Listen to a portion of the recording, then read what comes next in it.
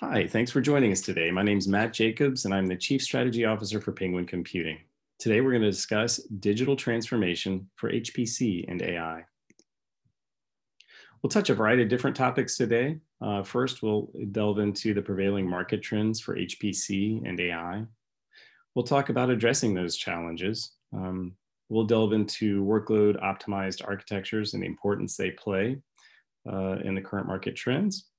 We'll talk about the technology practices that we're announcing here this week at Supercomputing and the different usage models under which those can be consumed. The market trends in HPC and AI are varied, but the ones that are impacting us most today are the following. Hardware abstraction uh, is very interesting. We've gone through uh, a little over a decade of virtualization uh, of the platforms. And we've also gone through a little over a decade of centralizing HPC and AI resources. As a result of this centralization and virtualization, users are typically a little less platform sensitive. So it means that it's incumbent upon us as providers in the market to provide targeted solutions that get a little bit closer to the application layer and that we provide emerging technologies that will allow uh, the workflows that these customers are accustomed to. In addition, we're also seeing an increase in platform complexity, and we're seeing this increase being driven by two primary factors. Uh, the first one is the waning of Moore's law. And here, uh, we're seeing an industry answer to this waning of Moore's law uh, is specialization. And we're seeing specialization at the compute layer and at the processing layer. But we're also seeing interesting adaptations in the storage layer with the uh, commoditization of flash um, and the advent of new in-memory technologies that we'll discuss. We're also seeing uh, a shift from Cloud 1.0 to Cloud 2.0. And this shift has brought about an interesting um, set of circumstances. The first of which is we're finding a much more educated customer base um, who understands not only the cost of cloud, but also which cloud providers do which things well and where they should target their workloads. Um, the other thing that we're seeing is, is, is another set of trends. Um, some of them are focused at workload targeting and some of them are focused at cost, but we're seeing uh, this educated customer pursue more of uh, a repatriation uh, concept. In other words, bringing some of those workloads home and they're starting to view their overall compute infrastructure between on-premises, hybrid, and multi-cloud as a continuum. And this compute continuum requires specific tools to be able to leverage it properly in concise and easy to use workflows. And we'll talk about that in more detail. Lastly, flexible usage models. Um, we're seeing uh, repatriation can be difficult, um, especially if a customer has been in the cloud for a long time um, having the skill sets and the personnel and even the facilities in some cases to execute on repatriation can be difficult. But primarily we're seeing three use models, on-premises, um, traditional on-premises or as a service, and cloud. And we'll talk a little bit about, more about those as well. So how are we addressing these market challenges? Um, Penguin Computing here at Supercomputing 20 is launching uh, a series of technology practices under which we have a series of reference architectures. The idea here is that we want to make these emerging and advanced technologies more accessible, and we want to shorten the time to adoption uh, for our customers. We want to package these technologies in a way that they're comfortable to consume, uh, they're easy to support, and also uh, deliver the most promise of performance. We have four primary uh, practices uh, that we're launching here this week. The first of which is our HPC technology practice. The second is our AI and analytics technology practice. The third is our data technology practice. And the fourth is our cloud technology practice. So let's delve into those a little bit more. Each of these practices has, as I mentioned, a series of reference architectures in them. These reference architectures are taking the best technologies from hardware uh, and software-defined technologies and putting them together in a way that is predefined, tested, understood, and supportable for our customers. Each of these reference architectures are meant to be combinable within the practices themselves and combinable across practices to deliver the best performance and digital transformation for our customers in HPC and AI. They're all meant to be sewn together with our software layers of application, platform, and infrastructure. and then also augmented by our services around design and architecture, professional services, managed services, and hosting capabilities. Lastly, any of these can be delivered under a variety of different formats, be that on premises as a traditional deployment, in our public cloud with Penguin Computing on Demand, in a hybrid or multi-cloud scenario with Penguin and other partners that our customers may have, and on premises as a service. Let's talk about our HPC technologies practice for a moment. Um, our HPC uh, technology practice is uh, designed around infusing modern technologies uh, and workflows into traditional HPC architectures. Our true HPC platform is meant to facilitate the adoption of HPC in traditional enterprise. This is a ready to run HPC platform uh, that is built on our um, traditional architecture, pra architecture practices, but also uh, leverages our Scyld ClusterWare um, cluster management platform to facilitate uh, the use and administration of an HPC environment. Next, we have our Insight HPC platform. Insight HPC is delivering on the advents of AI and how it can impact HPC. Um, this Insight HPC reference architecture includes a traditional batch environment for HPC as well as a traditional data analytics AI environment.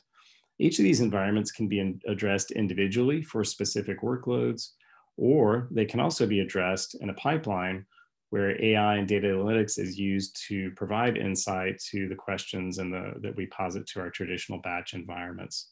This serves to accelerate uh, the function of the batch environment, increases accuracy as well. Access HPC uh, is, is a reference architecture that is designed to deliver the convenience of a public cloud as a private cloud on our customers' premises. Here, we're infusing a traditional HPC environment uh, with a cloud layer that provides uh, the flexibility of workflows with containerization and virtualization. Our AI and analytics technology practice addresses the three primary use models for AI in the market today. Our Origin AI reference architecture delivers powerful analytics at the core. Here we want to think about large scale development, training, and inference platforms in the data center. Our AI Horizon AI reference architecture delivers flexible analytics at the edge. These are specialized platforms that deliver the same performance uh, of inference uh, and analytics at the edge, but they're specifically designed for the unique environmental challenges um, that we are presented at the edge.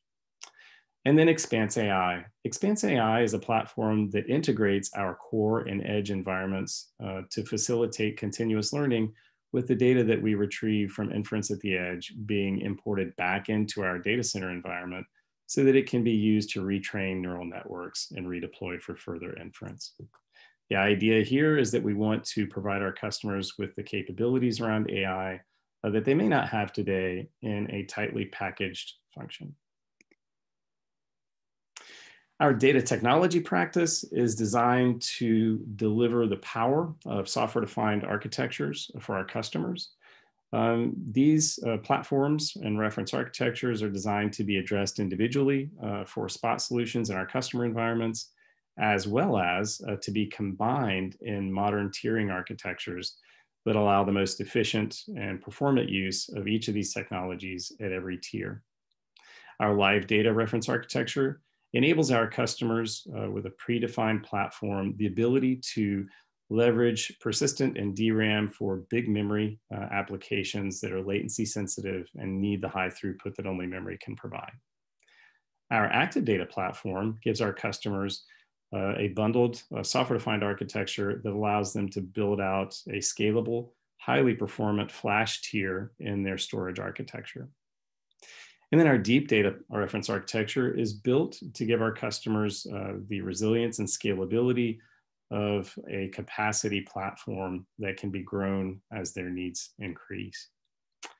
And then lastly, our data nexus reference architecture gives our customers the ability to operate on data where it resides. And in this case, um, they would have to care a little bit less about where the data sits um, to federate that with the compute infrastructure and spend more time acting on that data and analyzing that data and less time moving it from its site of origin to where it needs to be computed. Lastly, our cloud technology practice uh, is designed with three reference architectures that deliver the power of modern cloud native technologies to enhance the utility of all of our platforms. Cloudbase uh, is a reference architecture that gives our customers uh, pre-packaged workload portability with both containers and virtualization. OmniCloud is our multi-cloud platform that allows customers to unify uh, their on-premises, hybrid, and multi-cloud environments into a singular workflow to achieve the compute continuum we discussed earlier.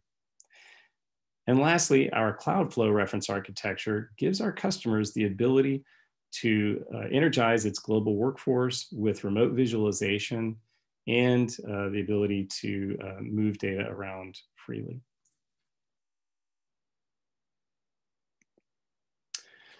And finally, we land on the power of choice. As we mentioned earlier, consumption models are important. Um, we have been uh, providing traditional on-premises uh, compute environments for a long time for our customers.